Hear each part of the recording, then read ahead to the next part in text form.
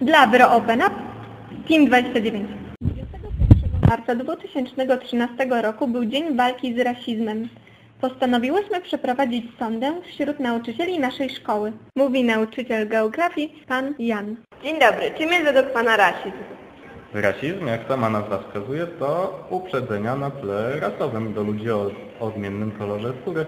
Ale chyba trzeba też zwrócić uwagę na uprzedzenia do ludzi o innym pochodzeniu, z innych krajów, z innych narodów. A czy zgadza się pan z poglądami Polska dla Polaków? Nie, zdecydowanie nie, ale chyba mogą one wynikać z tego, że mało wiemy o innych narodach i bardzo dobrze czujemy się wśród swoich bliskich i znanych nam ludzi, więc wydaje mi się, że rozumiem ich przyczynę, ale na pewno należy zrobić sporo, żeby otworzyć nas na innych i zobaczyć, że inni mają także wartości i mogą nas czegoś nauczyć. A z czego wynika w takim razie ogólnie rasizm? Chyba z tego samego. Po prostu z niewiedzy, że ci inni, różniący się od nas, czy pochodzeniem, czy kolorem skóry, też mogą nam wiele pokazać, wiele możemy się od nich nauczyć. Mhm. Co pan myśli o agresji wiążącej się z rasizmem? Hmm, każda agresja jest zła, więc również ta na tle rasistowskim również musi być tutaj wrzucona jako coś złego, coś negatywnego. Agresja nas niszczy, więc nie warto ją podtrzymywać. Dobrze, a czy może ma, nam pan jeszcze powiedzieć, co można zrobić w naszym otoczeniu, aby zmniejszyć ilość rasistowskich haseł i poglądów? Często się mówi coś takiego, żeby nie podsycać nienawiści. E, Na pewno nie można pozostać obojętnym, tak? Trzeba zaznaczyć to, że ma się inne zdanie.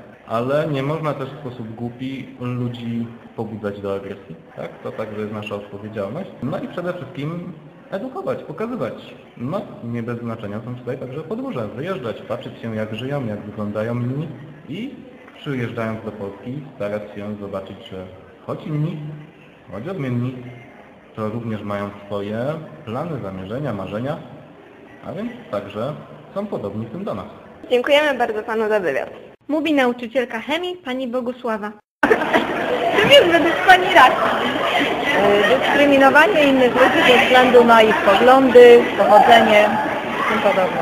A zgadza się pani może z poglądami rasistów e, tego typu jak Polska dla Polaków? Nie, nie zgadzam się, Polska jest dla wszystkich, musimy być e, tolerancyjni. Europa się i cały świat się rozszerza, weszliśmy do Unii, powinniśmy być tolerancyjni dla wszystkich narodów. Dobrze. E, A według pani z czego wynika rasizm? Głupoty i tempoty chyba, ja wiem. Co można zrobić w najbliższym otoczeniu, aby zmienić ilość rasistowskich haseł lub poglądów? Myślę, że od najmłodszych lat szkolnych trzeba młodzież zacząć od dzieci, a później młodzież edukować po prostu.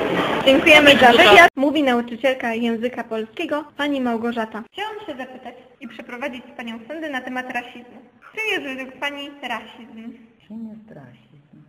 No najprościej jest powiedzieć, że rasizm to jest Odpowiedź na ostatnie pytanie. Co można zrobić w naszym najbliższym otoczeniu, aby zmniejszyć ilość właśnie takich rasistowskich haseł i Znaczy ja się obawiam, że to jest, y, że to jest bicie głową w mur, ale to nie znaczy, że należy się poddawać. Nie wiem w jakiej kolejności, bo to jest ta słynna praca u podstaw i praca organiczna. Trzeba przede wszystkim poznawać inne kultury. Trzeba poznawać inne religie, trzeba poznawać innych ludzi, nie bać się ich tylko dlatego, że są z jakiejś innej narodowości. Zobaczyć w drugim człowieku człowieka, a nie tylko, nie wiem, jakiś kolor skóry, czy przynależność narodową. A, jeszcze z czego wynika rasizm? Z uprzedzeń i stereotypów. Całej masy stereotypów i niestety z wychowania. To, to znaczy tak, poznawać najróżniejszych ludzi podróżować po świecie, nie bać się podróży, podróżować po świecie, wpuszczać innych do siebie, bo się nagle okazuje, że wcale inny to wcale nie jakiś gorszy. Mamy w szkole osoby, które nie mają polskich korzeni przecież. Prawda? I one tutaj całkiem dobrze funkcjonują. Pracujemy z ludźmi, którzy nie mają polskich korzeni. Mamy takich sąsiadów. Nie bać się, to raz.